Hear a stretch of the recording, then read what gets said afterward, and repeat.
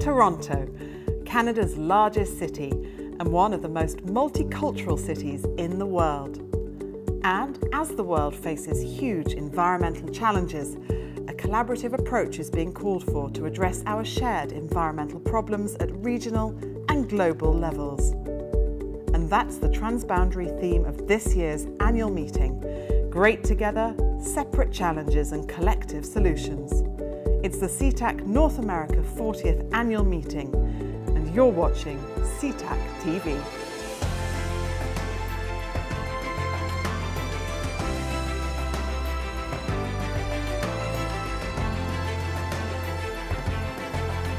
Welcome back to the Metro Toronto Convention Centre and day two of the SETAC North America 40th Annual Meeting.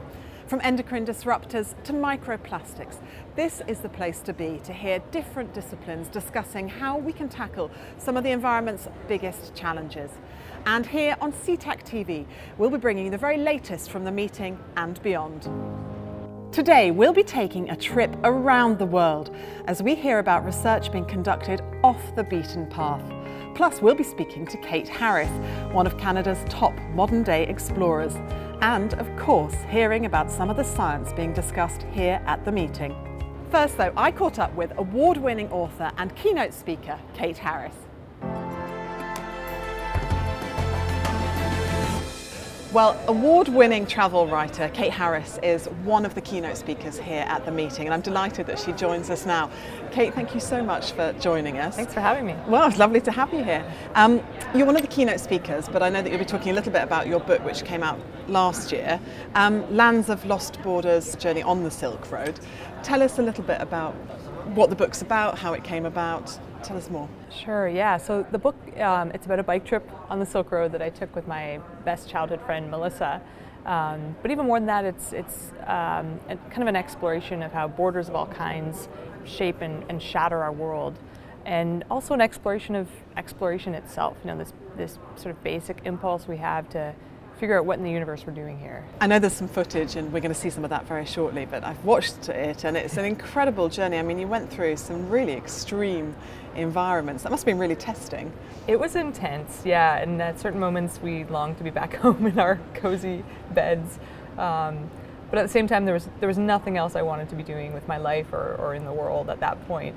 Um, so that kind of kept us going.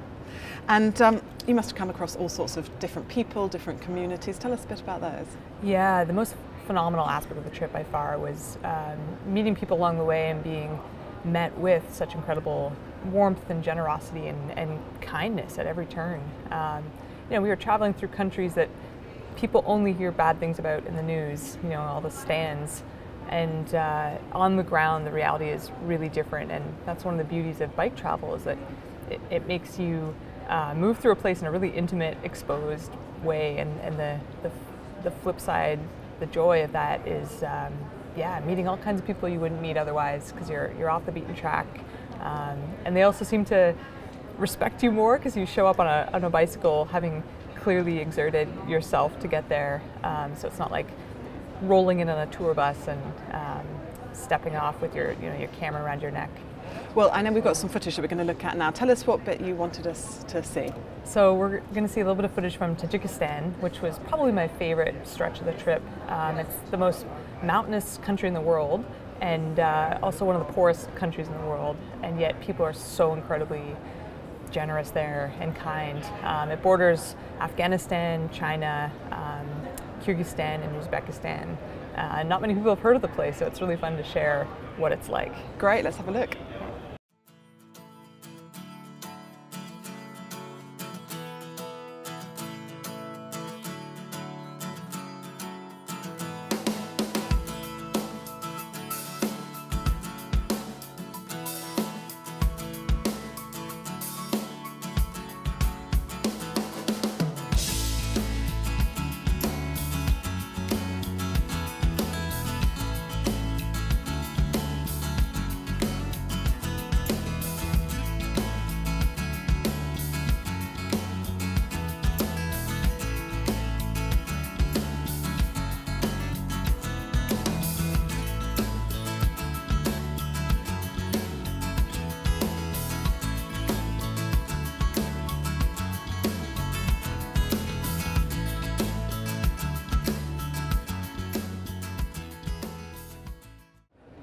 Kate, thank you for sharing that with us. That was brilliant to see. Now, as I said earlier, you're here as a keynote speaker. What are you going to be talking, without giving too much away, what will you be talking about? Um, the big themes of the book mostly. So around, you know, my uh, misadventures exploring the edges of things from nations to endurance to my own sanity at times. Um, and a few of the encounters with, with borders, especially contested borderlands, that really, you know, I went into with certain stereotypes about or um, expectations for what I'd see and, and, ended up coming away with a very different picture of what, what's going on in these places where uh, we've built really intense walls. So I'll be talking, yeah, about all of that sounds, in 40 minutes. Sounds fantastic.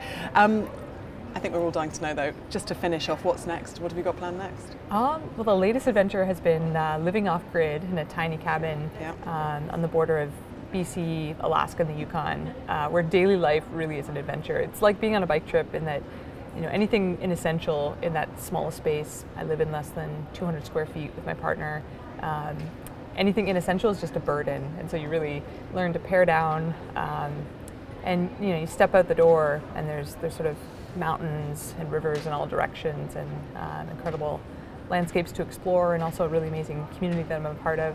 So just learning how to live off grid, live close to the land, um, and I've also been learning how to fly a plane, which has always been a dream of mine. I, you know, I wanted to be an astronaut when I was a kid, um, so this is my version of a very low Earth orbit. Yeah. Wonderful. Well, it all sounds really exciting. Will we see another book? Do you think? Definitely. Yeah, I've just I've just gotten the next uh, book deal for the, the my future book, which does not yet exist, but uh, it'll be about living off grid and learning to fly and uh, kind of wanderlust gone local. You know, it's so easy to be amazed by the world when you sort of catapult yourself into another country and everything's different and you're, you're woken up by that. Um, but how can we bring that same uh, vibrancy of, of attention and awakeness to everyday life wherever we are? So that's what I'm exploring. Fantastic. Well, watch this space. We, we'll be looking forward to it. Thanks Thank so much for joining us, Kate. My pleasure. And we'll have more tales of adventure from around the world later on in the show. Shortly, we'll be heading to Japan to take a look at the work of the Centre for Health and Environmental Risk Research. First, though, let's have a quick taster of all the in depth features that you can catch all week here on SETAC TV.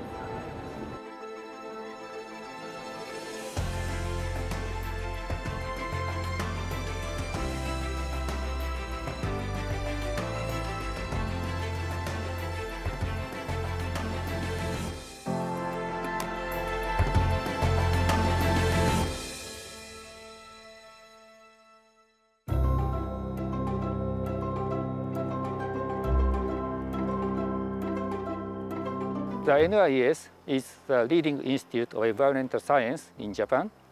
And our center, uh, Center for Health and Environmental Risk Research, is in charge of uh, scientific research to help realize uh, safe and secure societies.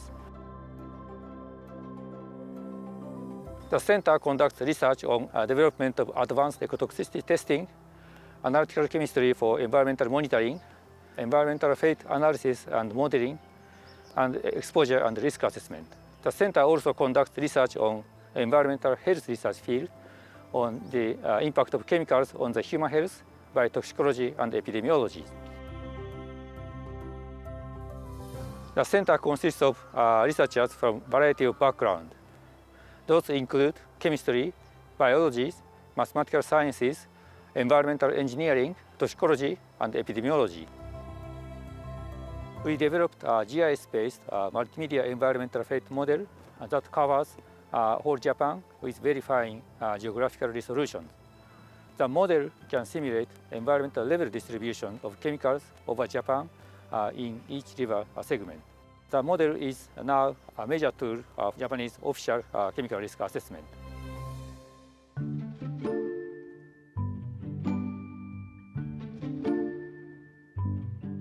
My area of expertise is to develop environmental fate models and emission estimation method for chemicals, including environmental risk assessment based on these results. I developed the pesticide chemicals high resolution estimation method named PeCHREM. It is used for estimating spatially and temporally variable emissions of various pesticides. We are also developing the grid catchment integrated environmental modeling system named G-CIEMS. The G-CIEMS model is a multimedia fate model. It was basically developed for simulating organic pollutants. It has multimedia compartments such as the atmosphere, subsoil layer, river and lakes, sea, and sediment with high spatial resolution. Anyone can download this model together with a user interface tool and input dataset for whole Japan from our website. The model can show concentration maps and environmental concentration distributions, including these temporal trends for each medium. Importance of effective and efficient risk assessment is increasing because many new chemicals are produced day by day. It will be more important to grasp the environmental levels of each chemical in low cost. I think multimedia fate model like G-CIEMS model and emission estimation method are key technologies to achieve this goal. We are working on the development of new testing method for ecotoxicity of chemicals. Uh, one of them is a MEOGRT method for uh, endocrine disrupting chemicals and uh, uh transgenerational impacts. My interest is in uh, ecotoxicity and ecological risk assessment of environmental contaminants such as pharmaceuticals, surfactants, and pesticides. We collaborated with the US EPA to develop Medaka Extended One Generation Reproduction Test, which was approved as OECD Test Guideline number 2450. This method takes almost six months, but has extremely high sensitivity to detect the maternal transfer of the chemical and reproductive effects. The flow-through system was built to maintain the concentration of the chemicals to conduct the long-term fish toxicity testing, all the instruments are made of stainless steel, glassware, and PTFE to avoid the background contamination by the plasticizers, which is suspected as endocrine disruptors. We have contributed to the chemical management in Japan, such as chemical substances control law, by the supply of testing organisms, such as fishes, crustaceans, and aquatic plants.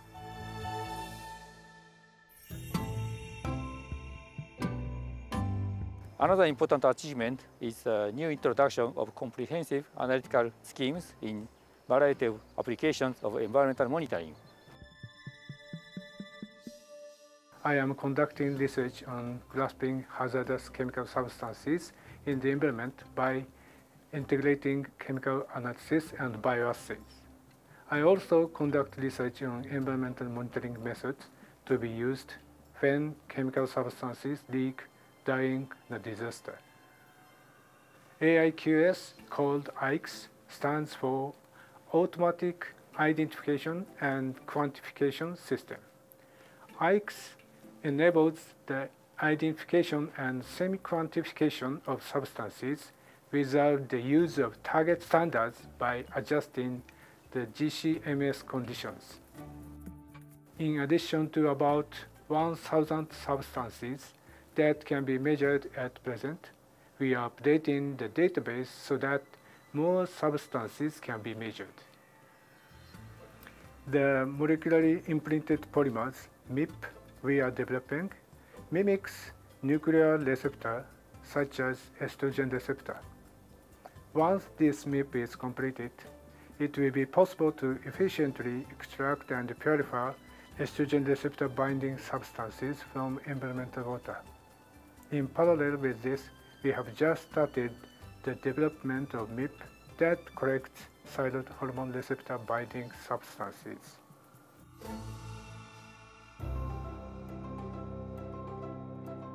In the future, we hope to be able to build a system that can detect environmental changes and identify the environmental impact contaminants rapidly. We will pursue the upgrade of ecotoxicity testing methods and investigation on the environment using several assays. We will also continue working on bioinformatics to contribute to the development of AOP and IATA. Our center will try our major effort to establish innovative science that supports society for sound and safe use of chemicals in the world.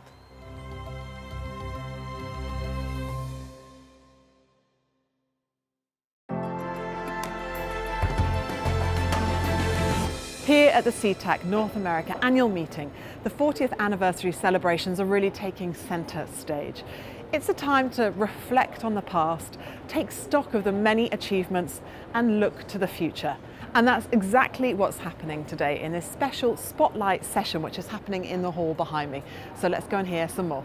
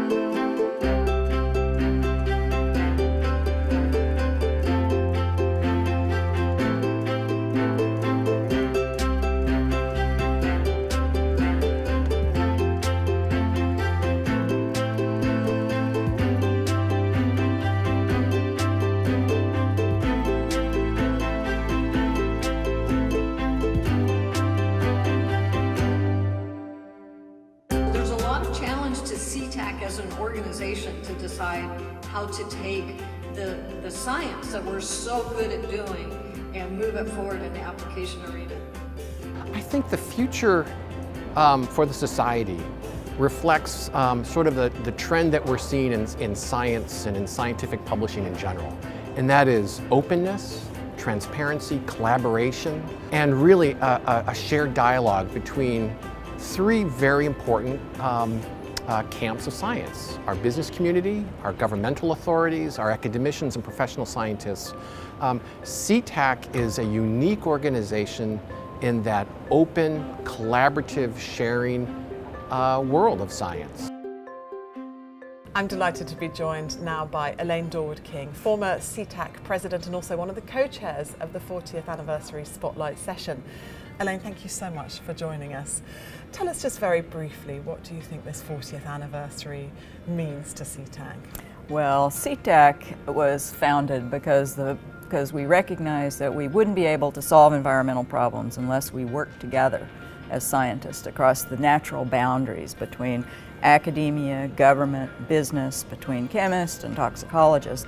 And so 40 years is a wonderful time to reflect on where we've been, how far we've come, but also, as we tried to do in our session this morning, look to the future. Where, what, where are we going? Where do we want to be in 40 years? And what did come out this session? Where do you want to be in 40 years? Well, one of the interesting things that came up this morning was how, how can we continue to make sure that the science that most of the members of SETAC are engaged in, you know, uh, understanding our environment better, understanding the impacts of chemicals and, and humanity on the environment, how can we make sure that that's used in a way that's relevant for decision makers in the future? Because often scientists and the language that we speak is different from the language that managers or decision makers, whether they're in government or, or industry, you know, and that's the language they, they, they speak. And if we are going to ensure that SETAC is as relevant 40 years from now as it has been in the past 40 years in informing those decision makers on how we make the world a better place, we have to think about that.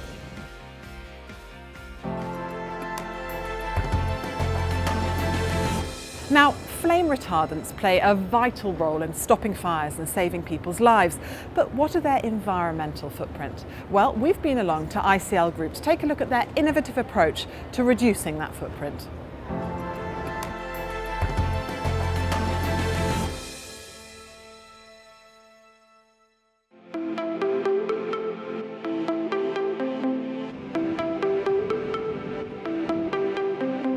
ICL is a global fertilizer and a specialty chemical company. It's one of the uh, largest flame retardant uh, producers. Uh, we make brominated uh, flame retardants, uh, phosphorus-based flame retardants, and inorganic flame retardants uh, based on magnesium.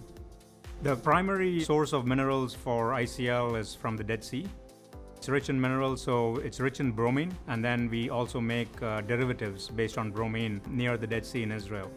Flame retardant chemicals are additives which you add to combustible materials.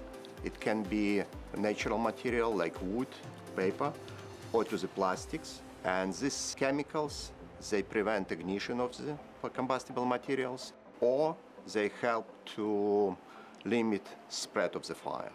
They use mostly in electronics, in building materials, in textiles, transportation. We're surrounded by materials which are very flammable, and we need to protect them. The values of developing sustainable products is important from the early stage, from the discovery stage, as we use these chemi green chemistry principles, uh, develop products that are more sustainable, environmentally friendly, and also processes that become sustainable and environmentally friendly. ICL's approach to dealing with materials like flame retardants is fairly unique in that they have not only constructed materials and taken, you know, some effort to look at the impacts of their products, but they've actually taken a, an umbrella approach at designing and developing tools and an infrastructure to help customers evaluate what the, the product choices for different applications. And I find that very, very unique in the industry to be actually, you know, reaching out to the customer and providing tools to help assess the different possibilities and different choices. The SaFR is a tool that takes into account all the health, safety and environmental properties of a product. And it also takes into account the exposure profile of the intended application. And what it seeks to do is to match up the exposure against the health, safety, environmental properties so you can select the most appropriate flame retardant. It takes into account the price, takes into account the properties that you require and make sure that the end consumer is protected and gets the most suitable product. From the green chemistry perspective, looking at the SaFR tool that ICL has, right now it is focused pretty much on the types of products that ICL sells. I see that general approach being applicable to a much broader industrial audience, and I hope that in the future we see ICL's you know, tools and methodologies find its way into different industry sectors because I think it's a very, very useful approach by developing new flame retardants, which are polymeric, big molecules by nature, or reactive molecules, which will react with the matrix where they stay. Uh, we believe, strongly believe, that these molecules will stay where they are. They will not escape into the environment, and this will significantly decrease environmental footprint of flame retardants.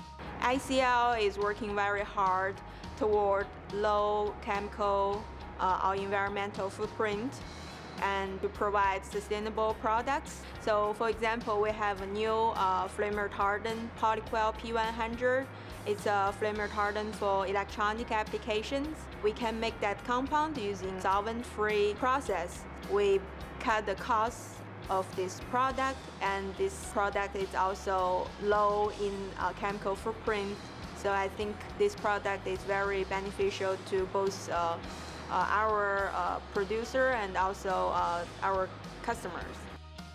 Yeah, at ICL we're very focused on the circular economy. SaFR is just one part of what we're doing. In Europe we have a plant now which is actually recycling insulation foam and it's allowing the styrene to be recovered and to remake polystyrene and we recover the bromine and we can make other bromine compounds from that. If you make the right selection of flame retardants in your product, then they will be suitable to be recycled once, twice, three times as many as you need. And circular economy is undoubtedly the future for the plastics industry. The vision is to work across boundaries and develop products that are useful and also uh, sustainable. From the perspective of a practicing chemist, ICL has a, a, leadership role it's playing in flame retardants, specifically because of this, this SaFR program that they've generated that helps customers evaluate different product options and weigh them against pluses and minuses in performance and safety. And I see that as having no peers in the industry for that kind of a program.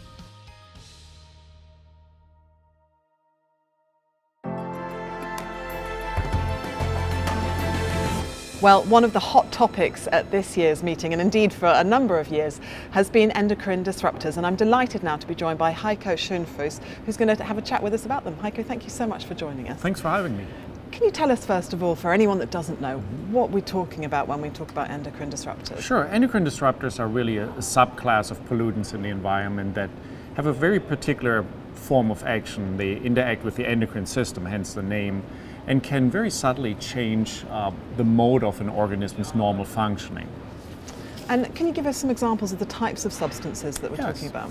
A lot of those are things that can mimic a hormone. Uh, so, for example, the estrogen hormones that drive a lot of reproductive behaviors. We have found over the last 20 or so years that there are a number of compounds in the environment that actually will mimic a naturally occurring estrogen, and so an organism will not be able to distinguish between the naturally occurring estrogen produced by the organism and compounds in the environment that mimic them. And one of the results can be, for example, that male fish develop female reproductive organs, so a form of intersex that has been quite a bit covered in the media.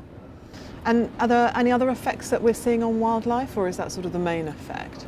It's probably the one that has been most publicized over the years, but there's certainly other effects as well. We have some pesticides that may feminize uh, female fish and make them more masculine, um, or we have chemicals that feminize male fish and make them more female.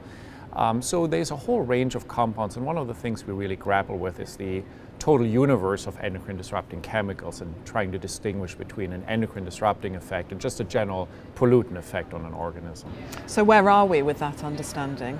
Well, we're getting closer. Uh, we have had 20 years to try to understand what endocrine disruptors do and how do we distinguish between an endocrine disrupting effect on an organism, again, usually mediated through the steroid systems, the endocrine system of the body, and those effects that are really just stressors from environmental pollutions. But we are now at a point where the regulatory agencies are really trying to firm up that understanding and create mechanisms to distinguish between those two forms of pollutant stress. So what do you think are the solutions to, to this? One of the advantages of dealing with endocrine disrupting compounds, many of them are produced and used in households. So we can personally take responsibility. And so education has been a big part of trying to deal with the problem.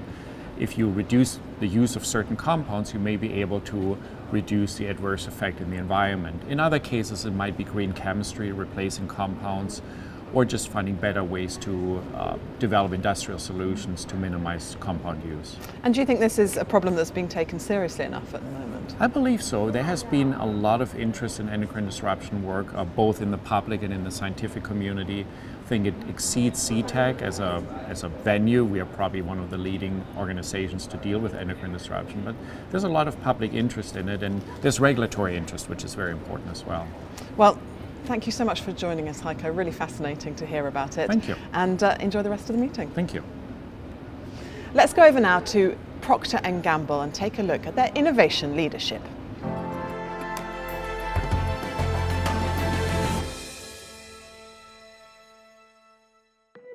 Procter & Gamble has a long history of innovation. It serves about 5 billion consumers with personal care and consumer care products globally. We have a long, long history of innovation in the personal and care space. We've been working on animal alternatives since the 1970s. In the environmental safety area, this is a relatively new question, one that really began to form in its present shape around the 2000s. This is now a consumer need. It's a societal desire, and we've invested very, very significantly in trying to devise assays that can address these questions. Safety is at the heart of everything we do. Safety is really three parts. It's objective safety, it's perceived safety, and it's regulatory safety. And we do our best to make sure that we are advancing the science and that we're being transparent and we're being good communicators with the science so we can assure the public that we're doing our best and that we really understand the compounds and the risks associated with them. The consumer expect our products to be safe, and we also must make them safe for the environment as well. P&G has a long and storied history in really advancing the field of environmental safety and risk assessment. And I've been drawn to really practical applications of trying to advance the science. We build the basic foundational science to advance this work. Procter & Gamble works with scientists from academia, across industry, and scientists with, within government as well. This so-called tripartite approach is fundamental to making progress in defining what safe means and the data behind making safety determinations. Over the years, my work with Procter & Gamble has been in a variety of areas. We started out in the mid-90s working on different experimental techniques and experimental designs to provide better testing for effluents and chemicals. And then through the 2000s, we've worked with P&G on better experimental designs, better tests. In the effort to be more sustainable and to reduce animal needs for testing, this is something that we all have to work with together. This isn't just something that P&G does on its own. This is a partnership with government, with academia, with other industries in order to understand the science that's needed to replace animal tests. But we can't do this in a vacuum. We need to have our tripartite partnership in order to make sure that we are developing a robust environmental safety assessment and that what we are developing is something that everyone agrees is safe and is repeatable and is reliable. It doesn't mean a lot coming from just me. It means a lot more coming from our regulator partners and coming from our academic partners as well. We have always been interested in devising assays that are more informative than the ones that we presently use. And in animal alternatives research, this is no different. The fish embryo test, or FET, is an animal replacement assay. It uses developmental endpoints that are tied directly to whether the fish will survive later on as a juvenile in development. P&G uses alternative methods like the fish embryo toxicity test to understand the environmental hazard of compounds. We can use this test and the results from it in order to guide business development and make sure that we are moving towards a more sustainable and safe space. And we can also use this information in our product registration and environmental risk assessments. The future of animal alternative assays is actually very exciting. There are many things that are on the horizon that will improve what we can do for predicting environmental safety. With fish and animal alternatives, with people in Procter & Gamble and HESI and other organizations, really I think has done a lot to help the world understand how to do assessments and protect the environment in a ethical and meaningful way that provides safety and science-based decisions on how to do work in the environment. We're often um, sought after for our ability to partner with our analytical capabilities. People will think of P&G and say, I want to collaborate with P&G because they have world-class toxicologists and they have this incredible chemistry associates that they can work with as well. And they're just right down the hall from us. So when we're developing a test, I can have those conversations with chemists and then we can have the conversations from the testing side of things. And together we can work to build a phenomenal testing strategy that leads to robust data generation for our risk assessments. If not for SETAC and its tripartite relationships with government, academia, and industry, we would be in very different place than we are right now. My collaboration with partners in industry and in government have really helped the environment in meaningful ways. We can do so much more together than we can alone. And for sure, SETAC has been an instrumental part of shaping environmental safety sciences today. We consider ourselves leaders in the field, and we continue to work to help shape the right ways to answer the most important questions.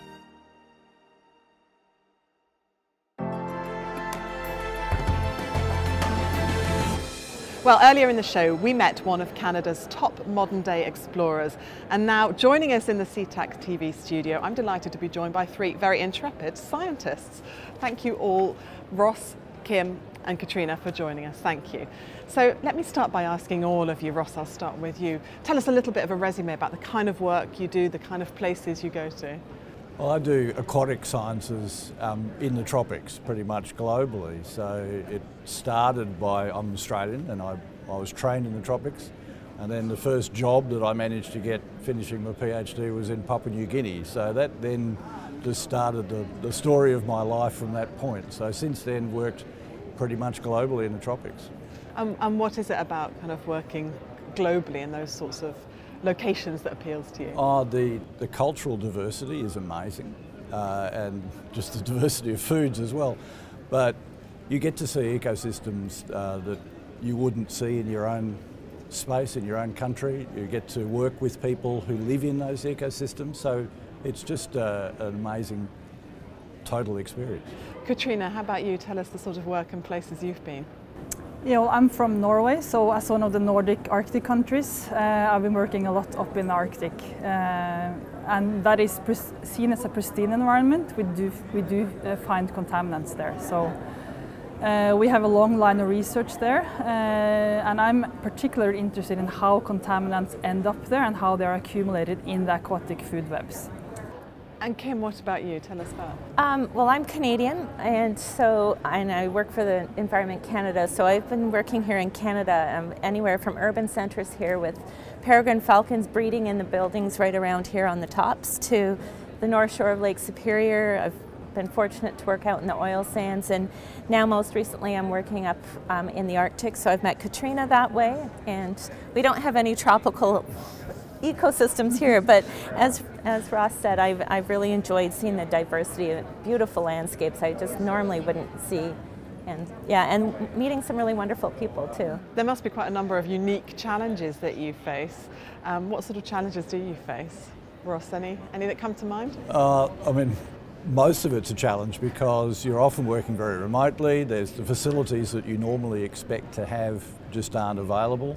Uh, modern technology is helping you take stuff with you, but you know, when I started, you'd get dropped out of a helicopter in the middle of a rainforest somewhere with nothing but a notebook and, and what you needed to get the, the, job done with. So communication has really changed over the years. Yeah. But just dealing with the circumstances of having to problem solve where you are because you can't go to a shop and buy something that you forgot. And, and the climatic and environmental environment must be very difficult Of well. course, it adds an extra constraint when you work in a cold and at parts of the time very dark environment. But I've also been working in Africa recently, working on e-waste, and I have to say that it's quite challenging to work there as well, even if we're working close to urban sites, because you, you meet a whole other range of uh, challenges than we meet in the Arctic. And Kim, you must have come across a number of challenges too. Well, I think I've been somewhat lucky with um, some of my work down in southern Canada, I'll say, where, you know, if you forget something, usually you can go to the local hardware store and pick up whatever simple fieldwork equipment you need. But going up to the Arctic where you're, you know, you've got a fly-in plane and you're there for a month, it's like you have to make sure you've got everything uh, you're you know hoping that the weather holds when you are going to fly in and fly out and that. So yes there are challenges for sure. You must i mean you wouldn't do this type of work if you didn't love it. It must give you a real buzz presumably. Yeah, yes. That's right. I think yeah, the two of the biggest buzzes I get is actually being in the in the field with the animals, but and then funny enough, getting my um, publications accepted. I get I still get a buzz from that. It's like oh, good news. But I also think that when, um, especially in the Arctic, we see that the work we do directly feeds into international uh, regulations, yes. and that is also an extra motivation. Yes. And that's something I'm thinking about when I'm standing there freezing and uh, waiting yes. for that is so whatever animal I'm going to look at. Yeah. Yeah. yeah. I wonder if we could just um, talk very quickly, just to finish as well, just from all of you. One of the, I know one of the values of SETAC is um, bringing younger people on, helping students getting to work. For anyone that's watching this and hearing you and thinking, oh, really, that's the kind of path I want to follow, maybe have you all got a bit of advice for us? Anything that? Well, I stumbled into my pathway, so I don't know that serendipity is a recommendation for a career path. Uh, but certainly being open to, to, opportunities when they come, that's the, the key thing, isn't yeah. it? Take whatever chance comes your way. If someone offers you something, even if you don't feel quite qualified enough for it, I tell my students take it. You never know when that'll come up. And it's the same any stage of your career. I would just say take the opportunities when they present themselves. And I'd just say that to me, working and, and joining SETAC from a very remote part of the world, that the network SETAC gave me was so crucial to being able to keep up to the science and to connect with people to solve problems. Yeah. And don't be afraid to, to reach out and, uh, and contact people because most people are very friendly and really eager to help and uh, give you advice. Yeah, and I would echo what Ross yeah. said. Um, SETAC has opened up some amazing opportunities for me. I've met some wonderful people through them and collaborators, and I think that's open to anyone and everyone. Um, students for all levels. Well, we'll have to end it there, but thank you all of you for joining us from your various corners of the world and enjoy the rest of the meeting. Thank you. Well, that brings us to the end of our second programme here on SETAC TV, and it's been a fantastic day. We've loved hearing more about the 40th anniversary celebrations, meeting some really intrepid travellers, and also discussing endocrine disruptors. Do join us again tomorrow when we'll be meeting an award winner and talking about PFAS. Until then, bye bye.